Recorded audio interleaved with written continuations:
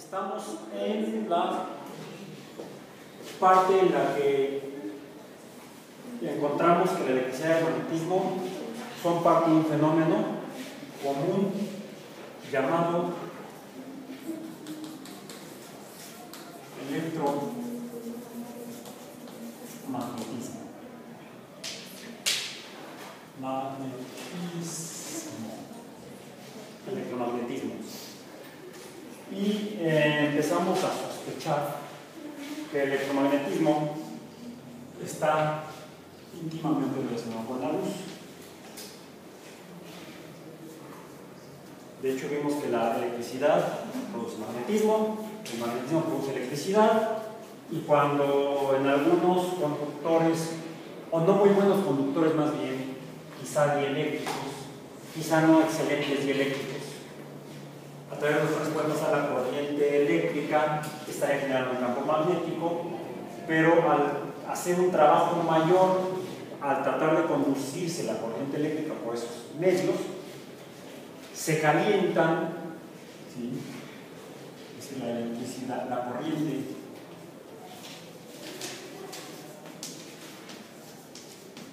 eléctrica puede producir calor el calor llega a un momento en que produce luz. Y vimos, hemos visto la luz, hemos visto la luz, que la luz blanca está formada por seis colores, seis colores de luz diferentes, eh, desde la violeta, azul, ¿veo cuál seguía? Verde. En de 6, verde, amarillo, amarillo, anaranjado.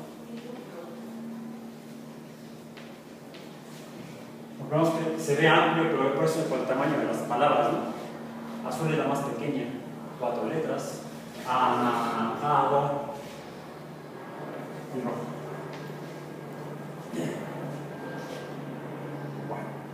Eh, vimos cuando experimentamos con el prisma que cuando la luz roja pasa a través del prisma no se produce ningún otro color de luz. No aparece un color distinto a estos. Igual que cuando pasábamos la luz azul o la violeta a través del prisma tampoco se producía un color de luz.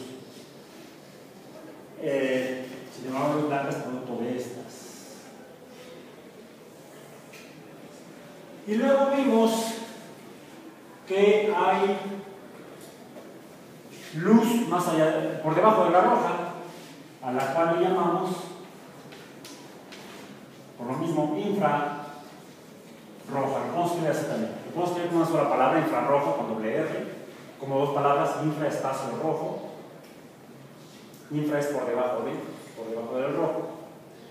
Y al final de la clase pasada les mostré una lámpara que, si ustedes la ven, que no es muy recomendable, se ve como que emite luz violeta.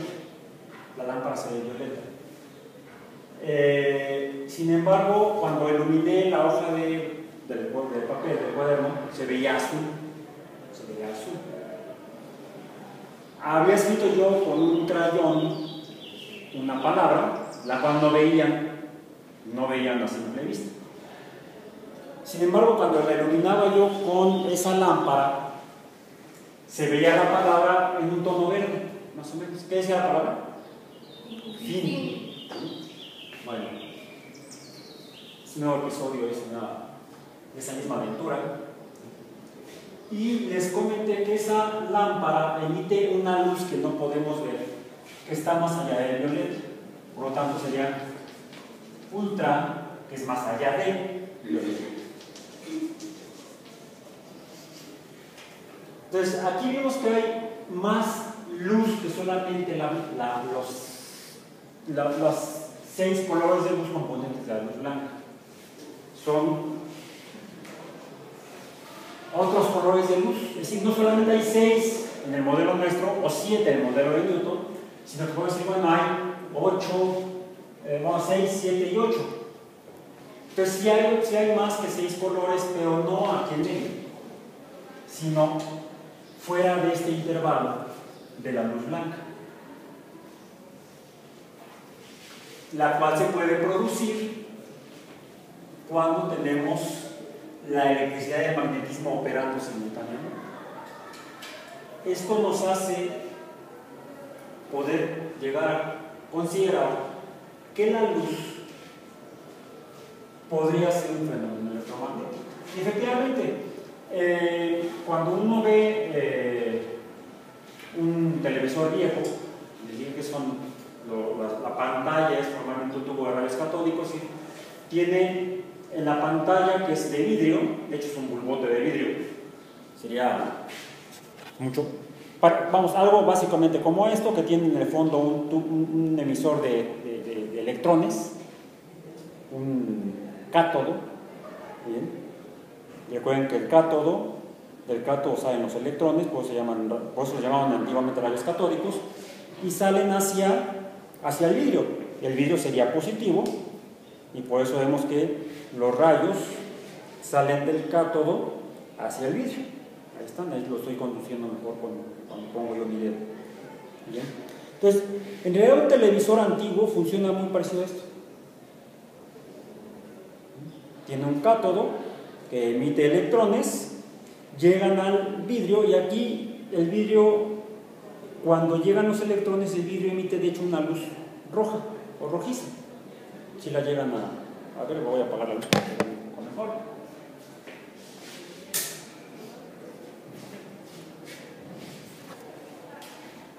Si se ven, los, los rayitos se ven azules. ¿Bien? Sin embargo, cuando llega al vidrio, emite una luz parecida roja. Es interesante, vienen azules que al interactuar, con el vidrio emiten rojo. Se ve más evidente cuando pongo yo el dedo, se ve más, más rojo el rojo. Un televisor tiene también un emisor de rayos catódicos o de electrones, llega al vidrio de la pantalla y se ve de diferentes colores dependiendo de qué tenga el vidrio, se le ponen otros elementos químicos al vidrio.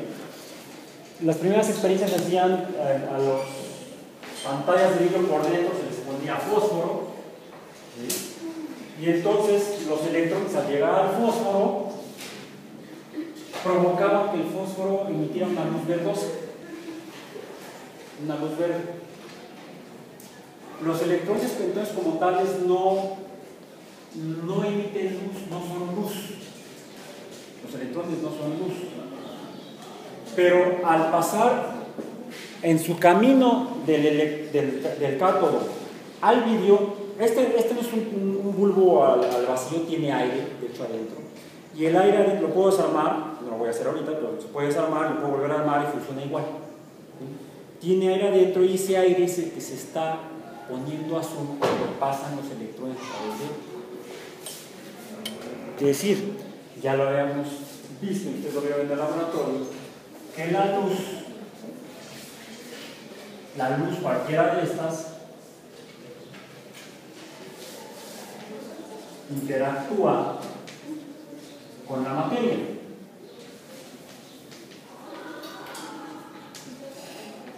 De hecho lo hace de dos maneras. Lo hace este, cuando refleja la, la luz blanca viene al pizarrón, rebota el pizarrón hacia mis ojos, pues lo veo verde, pero ¿por qué veo verde el pizarrón? ¿Por qué no lo veo blanco a diferencia del gis? Si yo sé que la luz blanca que viene del pizarrón está formada por estos seis colores, y yo solamente estoy viendo el verde, ¿qué está pasando con los otros cinco? Cuando llega la luz blanca al pizarrón, hay días desaparecieron. ¿Dónde podrían estar? Porque no desaparecen. ¿Dónde están? Están en el pizarrón. Son absorbidos por la cosa verde del pizarrón. De hecho, la veo verde porque el verde no se quedó ahí, rebotó y llega a mis ojos. Esta parte roja del borrador llega la luz blanca a esta parte del, borrador y lo que rebota es la luz roja. ¿Qué pasó con los otros seis colores de luz? De alguna manera se quedaron adentro. ¿Alguna otra cosa de color? No, bueno, esto también es verde. Bueno, cualquier cosa. La, el cordón este eléctrico que tengo aquí se ve anaranjado, llega a luz blanca y de los seis colores el que rebota es el anaranjado. La tapa de la chalupa, ¿sí se llama chalupa? La tapa de la chalupa se ve amarilla. ¿Por qué se ve amarilla? Llega la luz blanca y la que rebota o se refleja, lo mismo sentido que se llama reflejo. Y para que se vea el color negro, porque dentro de esos no está. Es que el negro no es color. Es un espacio que absorbe. Llega la luz blanca y absorbe casi todos los colores. Es como el infrarrojo, ¿lo ven? Cuando les prendí el, no lo traje ahora, control remoto, ¿lo vieron? No. No vemos el infrarrojo. De hecho, esto, eh, la hiera negra que traigo, lo que hace es que absorbe casi toda la cantidad de luz que viene de cada uno de los colores. Es agujero eh, parecido, pero no por el mismo efecto. Un agujero negro absorbe toda la luz y de hecho no un agujero negro no se puede ver. Lo que vemos es su efecto. Les preguntaba yo en una, en sesión pasada que cómo le hacemos para ver algo invisible. Le echamos pintura de algún color que sí veamos. Pero si no tengo ningún bote a la mano y estamos en la playa, ¿cómo le hago para ver algo invisible? No lo puedo ver, pero ¿qué sí puedo percibir? Por eso, lo, puse en la playa, la experiencia. ¿Cómo puedo saber que hay un hombre invisible en la playa? Por las huellas que va dejando en la arena. Veo el efecto de lo que no puedo ver en su entorno. Los agujeros negros, los astrónomos los pueden ubicar, no ver, los pueden ubicar por lo que pasa alrededor de donde está el agujero negro. Como un agujero negro es, absorbe la luz porque es tan grande la cantidad de masa que tiene, la, ¿cuál es la fuerza que depende de la masa? Las que hemos visto, la fuerza de gravedad. Entonces, la fuerza gravitatoria de un agujero negro, de una, que es una estrella muy, muy, muy, muy masiva, es decir, con mucha masa, la fuerza gravitacional es muy grande y atrae todo lo que se le acerca, la masa de lo que se le acerca. Pero como tiempo más para acá, desde, que, eh, esta, aventura la empezamos hace 10.000 años, cuando los humanos llegaron a América por el estrecho de Bering, vimos el mural de los orígenes que está en el Museo de Antropología, puse aquí la imagen. Hablamos de lo, pasamos por la historia de los griegos y vamos llegando dijimos que mucho de esto se descubrió en el siglo XIX, mediados del siglo XIX.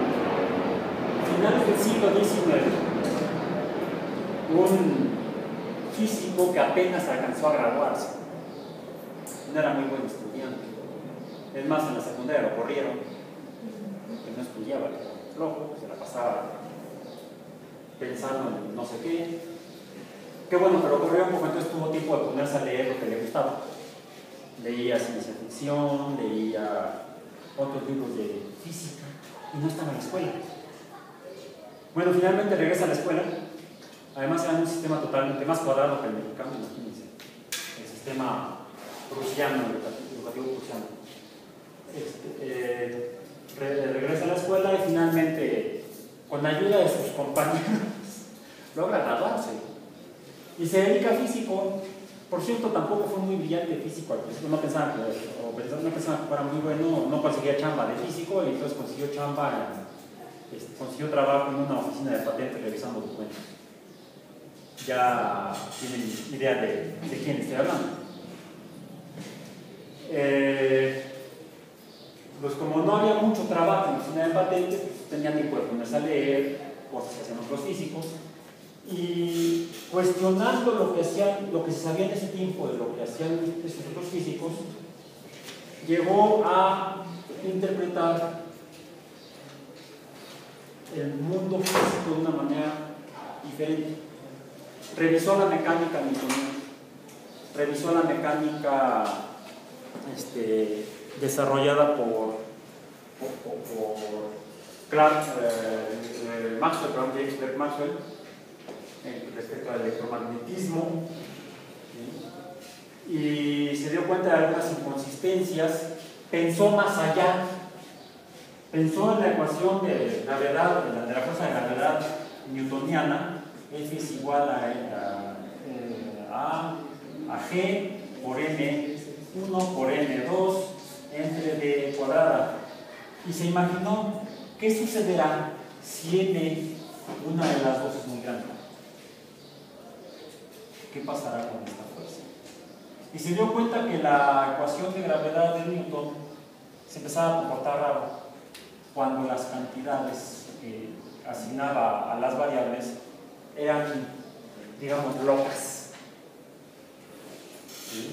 Hizo algunas otras consideraciones y llegó a darse cuenta que esto, toda esta mecánica se derivó de preguntarse cómo cambiaban las cosas a partir de, observaciones simples, a partir de, la, de, de, las observaciones de Galileo, de las variables de, longitud, de las que hemos visto en el principio del curso, longitud, eh, ma, masa, tiempo, la longitud, bueno, la longitud al cuadrado es este, igual al área o superficie, la longitud al cubo es igual al volumen, que sería nuestro espacio real en el cual vivimos, un espacio tridimensional. Y los fenómenos cambian, observamos cambios en los fenómenos en este espacio tridimensional, cuando ponemos una variable más que es el tiempo. Es como si todo dependiera del tiempo, la posición de una partícula en el espacio